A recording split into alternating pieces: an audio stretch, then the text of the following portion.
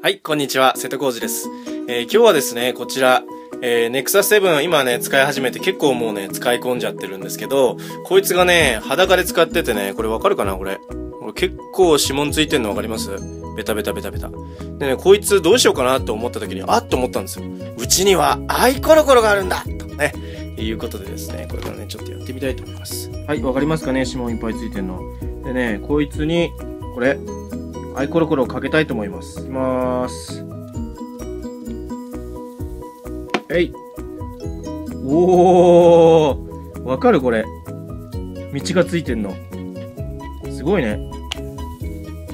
これ便利だわ。あのね、うちの本当にあれで、なんかね、布巾かなんかで拭き取ろうと思ったんですけど、やっぱ伸びちゃうなと思って指紋が。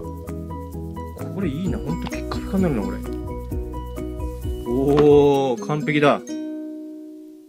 ピカピカになりました。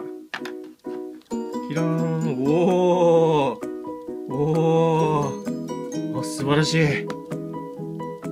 というわけで、こちら、ネクサス7に、アイコロコロを使ってみた動画でした。なかなかいいよじゃあなー